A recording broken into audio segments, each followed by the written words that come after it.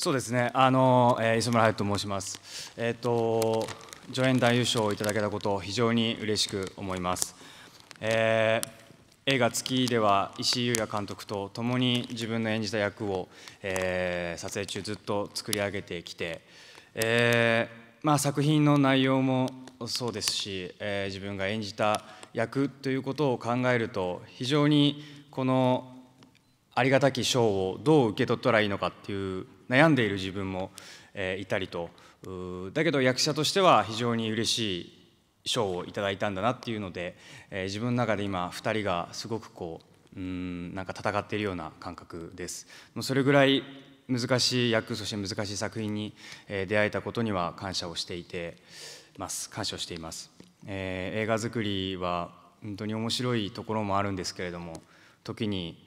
こう鋭く冷たい部分も持ってたりしてなんかそういうのをこう心で感じていくとやはり映画映像作りの現場っていうのは楽しいなってやめられないなっていうのをすごく感じています、まあ、なのでこれからも、えー、長い人生役者人生ですけれども一歩一歩この賞を糧にしっかりと、えー、少しでも映画の世界映像の世界に花を添えられる役者であれるように頑張っていきたいと思っています。本日は本当にありがとうございました。ありがとうございます。島選考委員からこの受賞の演技のポイントを教えていただけますか？いやもう彼はすごいよね本当に。まああの主人公はものすごく理屈っぽくって冷静でうんもしかしたら非常に、まあ、頭のクリアな人である一方でとんでもないことをやってのけるというそこの折り合いがということがね、まあ、あの本人が折り合いがついたかどうか我々見てる方が